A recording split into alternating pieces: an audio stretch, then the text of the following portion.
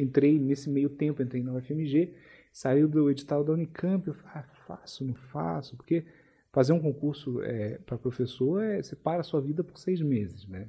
Tem que estudar muito. Não é. só violino, mas a parte teórica tem que estudar muito. E eu tinha acabado de fazer isso, né? Porque você tem prova, como é que é?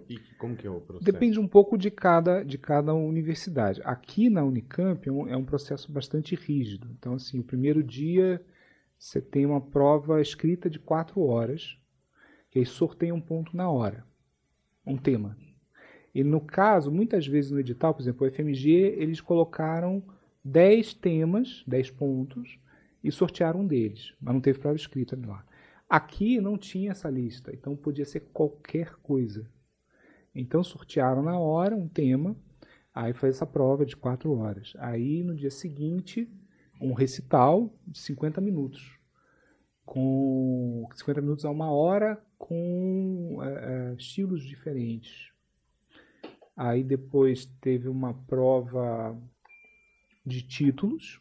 Eles dão uma nota sobre o seu currículo. Aí teve escrever, eu tive que escrever um memorial antes, né? Uhum. E teve aí mais uma entrevista de uma hora, que basicamente eles fazem várias perguntas que você tem que responder. Pensando se tem, teve mais alguma coisa. Mas isso é em quanto tempo todo esse processo? Três ou quatro dias. Ah, tá. É, não, é, é, é uma maratona, assim. E nisso está fazendo com outras pessoas. Ah, e teve uma aula também, sortear outro ponto, e aí você tem que preparar em 24 horas um PowerPoint, uma aula sobre algum tema. E aí você apresenta para a banca. E, e, aí você está com outros concorrentes ali.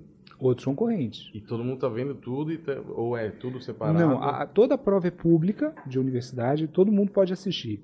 Só não pode assistir o concorrente. Ah, Aqui aí fica esquisito também, né? Mas daí depois o cara vai depois, né?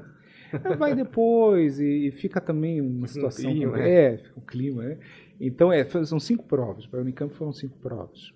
E estava bem concorrido aí quando você fez? Tinha bastante gente fazendo? Tinha, Geralmente tinha, esse tipo de processo? Não, aí que tá, porque é um processo bem especializado, assim. Porque primeiro você tem que ter doutorado. Uhum. E você tem que ter um currículo que justifique mais ou menos, né? É. E, e é uma maratona. Então, muita gente, assim, ah, quando abrir, eu vou fazer. E na prática, eram quatro inscritos no, no final e só vieram três. Quando eu fiz na UFMG também eram tipo nove inscritos e vieram. Até que vieram assim uns quatro ou cinco. Entendi. Então, assim, é, é, não, não vem tanta gente. Porque só o fato de ter doutorado já, já, já, já meio que reduz um pouco.